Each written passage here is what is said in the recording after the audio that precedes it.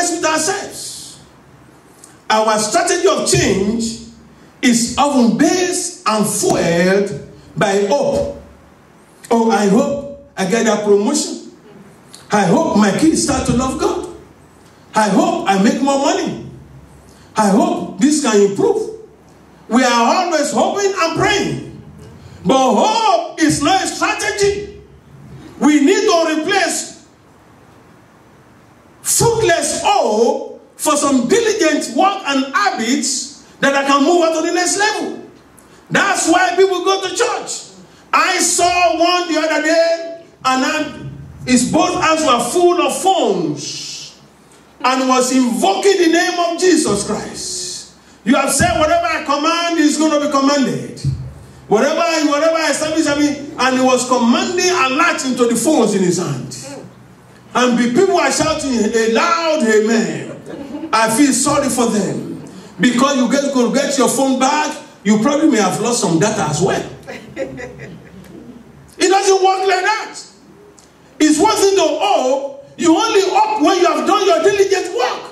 Paul may plant, Apollos may water. God brings increase. When you have planted and you have water, now you are hoping for an increase. And God is ever faithful to his word. He said, The word, the soul of the diligent shall be made rich. But the soul of a lazy man desires and hopes and prays and yet has nothing. If just only people can realize when you pray, you also work. When you work, you also pray. If Paul does not plant, Apollo does not water, there's nothing for God to increase. You got to take the step you have to take, and I'm telling you, work is not easy. That's why it's called work. When I go to work, I feel like, oh man, I don't want to do it. Because even when you are sleeping, you don't feel completely asleep as when you are not working. There's something about psychology that tells you that you are at work. That's why when the day of uh, weekend or TGIF, thank God it's Friday. We are all happy Friday's coming. We are all happy it's a three-day weekend. Oh, when, when I'm going on vacation, one week, two weeks, oh, you will think the two weeks will never end. Because we don't we want the church to come in, but we don't want to do the work. Work is hard. Whatever work you do, whether in the office, whether in the whichever one, anything that is even God Himself, after working for six days, He needed to rest. Amen. Amen. So we need to move from just praying and hoping, but we we need to move to say, no, you know what? Let our praying and our hope be complemented by the hard, heavy lifting. That God can bless the works of our hands. The Bible says, a lazy man, Proverbs, does not rose what he has taken in hunting. I was sharing that before. What does it mean? It's not a lazy man who has gone to, to hunt, but he has not taken his primary value and added value to it. That's why we see all these uh, Nollywood stars and Hollywood stars and basketball players. They are multi-millionaires, they are billionaires. It's not what they are paid playing basketball. It's not what they are playing playing rugby today. Now today is a Super Bowl. You know, most churches are going to be afflicted today because many people are going to either go to Las Vegas to watch Super Bowl or they call off work and then many of them have to work. But the point is this, become billionaires by playing basketball and running after ball. They became billionaires by adding value to the skills and the name they already made. That's why they have lines of, uh, of perfume and, and, and clothes and uh, shoes and everything. They sign endorsement. That's where the money comes from. A lazy man does not take, does not rose what he has taken in hunting. So when we see them, it's because they are now make much, they make so much money from endorsements by applying their name. And they are even begging them. I was hearing about Nike and uh, Michael Jordan. He was refusing to endorse them again. They own Nike begging Michael Jordan. Am I making sense to you? So what God does here is not hope. And the problem we are having in most of our churches and with our people back home is because the government has failed our people, and then people now turn to the churches. And unfortunately, there's no difference between the church and the government. And people are open against hope. Hope is not a strategy. Hope is not a strategy. The strategy is you walk and take have habits and pray, and now you hope and pray that God will bless the work of your hand. May the Lord help us in Jesus' name. Amen. So if you want to change who you are becoming, change your. If you want to change where you are going, change your habits. If you want to change your life, change your habits. To recognize, we need to understand, identify the habits that are prevalent in our lives so that we can master the habits that matter most. If you want to change your who you are becoming, change your habits. If you want to change where you are going, change your habits. If you want to change your life, change your habits. I've quoted uh, Albert Einstein before. And what he says is the significant problem we face cannot be solved at the same level we were at when we created them.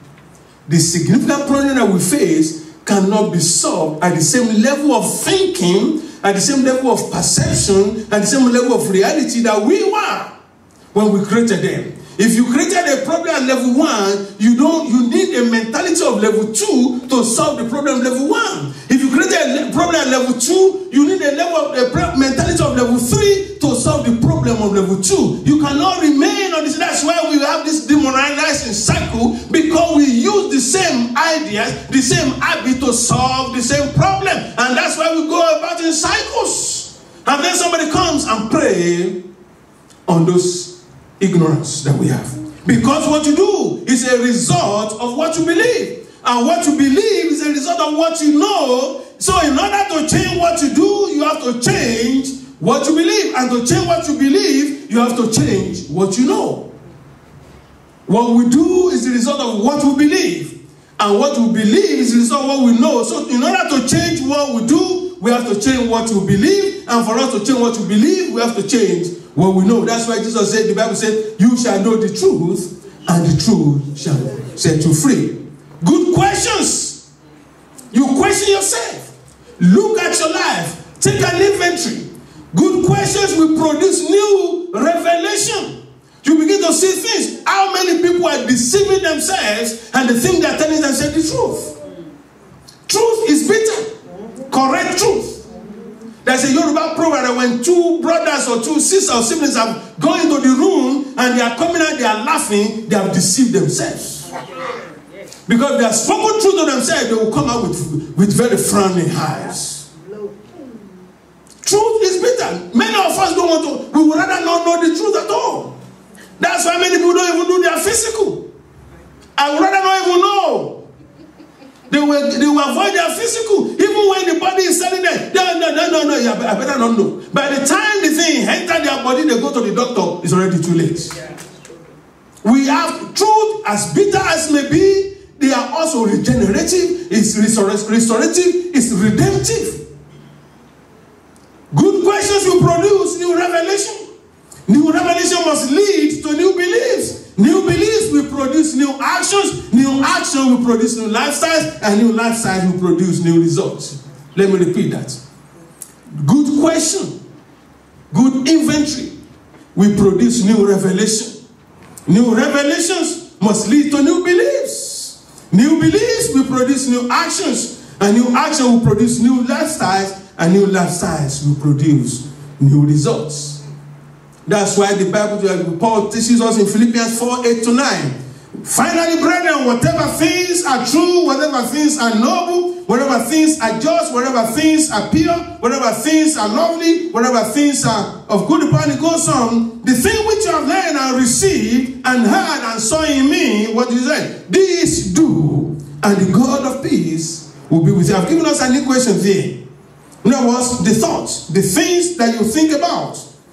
Not only do you think about it, he said, do this. Action. This you do. Put into action. And then the God of peace, then you experience. You cannot experience if you have not thought about it and put it into action.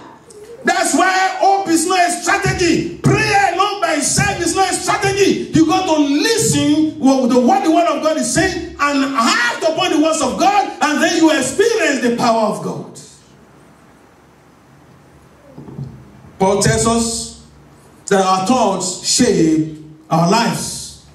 Who you are today is a result of your thoughts in the past. Who you become in the future will reflect what you think about today. I have two more points.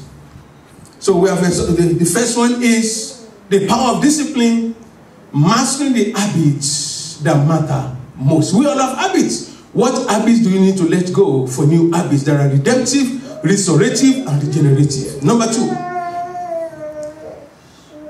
passion, perseverance, and resilience as redemptive and restorative habits. We need to imbibe and apply passion, perseverance, and resilience as redemptive and restorative habits. In other words, if we must have habits at all, and all of us do, we are humans. But we need to identify habits that are that are passionate, that we are passionate about, that will give us the perseverance and resilience. Now, let me break this down for us.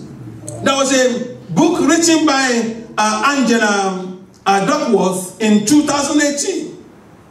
I saw that book. I bought two copies by Amazon and sent to my daughters. The title is Grit, G R I T, The Power of Passion and Perseverance. 2018, Angela Duckworth, Grit, G R I T, The Power of Passion and Perseverance. And what the book is saying is, first of all, what is grit, by the way? G R I T. If you Google the definition, it will give you courage and resolve, strength of character.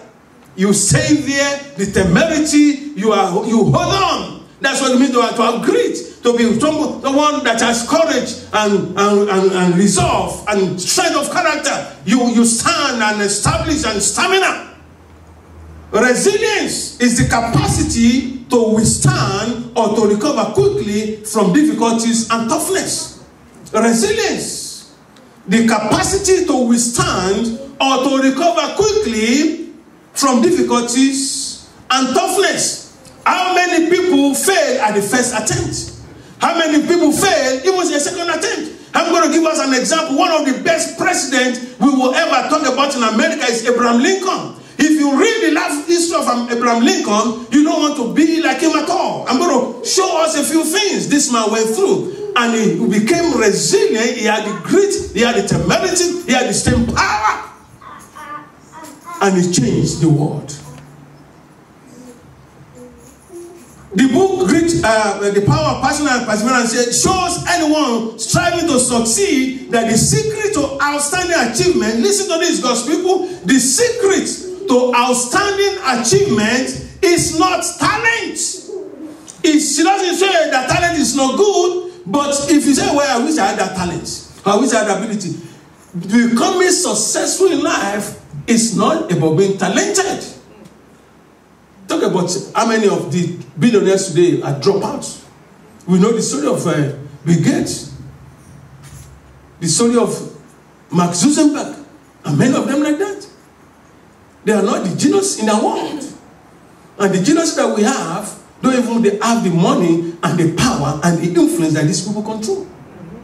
So what this Angela Duckworth is saying is anything someone else, in other words, outside achievement is not by talent alone, but a special blend, a salad bowl of passion and persistence, which she calls grit, passion and persistence.